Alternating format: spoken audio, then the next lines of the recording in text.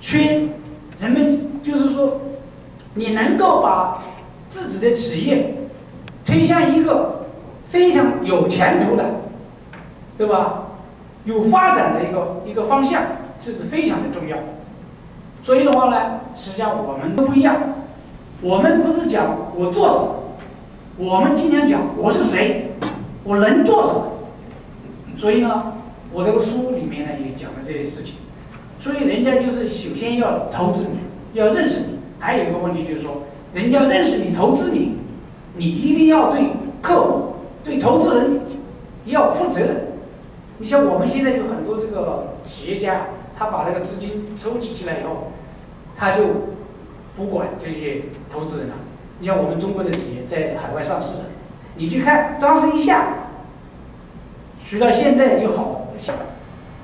第二个事情呢，现在呢就是说，因为信息发达了，所以现在呢中国人也很聪明，也聪明多了。就是说，经常请一些 public 这个来跟这个华尔街。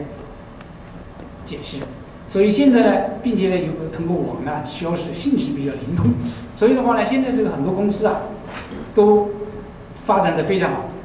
现在大这个就是说，在海外，现在中国的公司在海外上市的，现在都是最大，现在在国内啊，并且是最富有的那些企业家，你像网易啊、百度啊、新浪啊。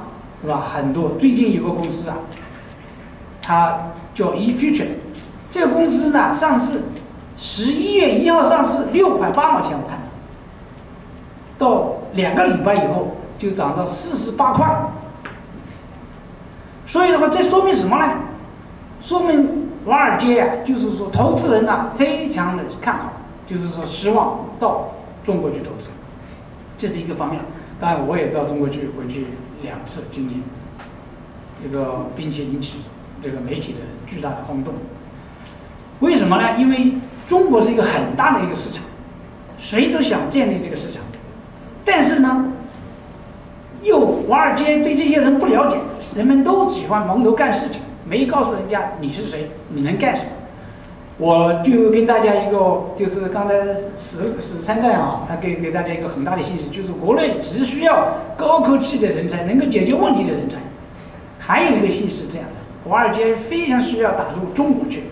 所以今天我跟大家讲的一个意重要的意思就是说，如果这个财富啊，你不要想的太远了，我们这样一个房间里面，就包含着巨大的财富。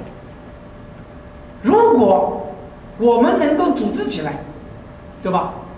组织起来，刚才叫资金，你组织起来呀，你不知道就有多少的资金就投入你，而不是说你的项目。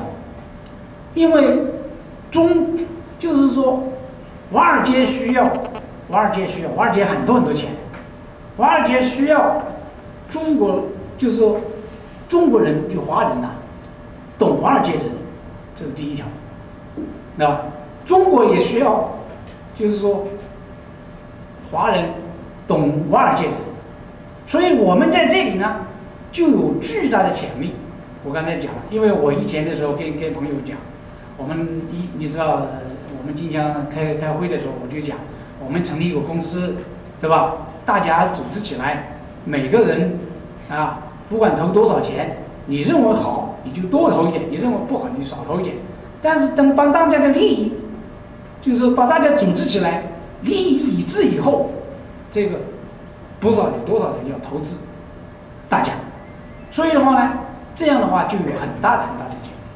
像我今天大概在座的有很多这个这个什么百万富翁、千万富翁，可能亿万富翁没赶到，但是我们都一起来。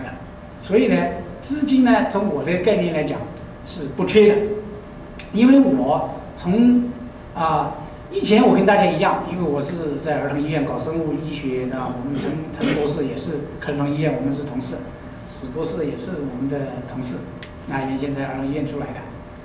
在在我进入到金融领域之前，我认为资金是非常的缺的，因为我想办企业，我就没有资金，没有场地。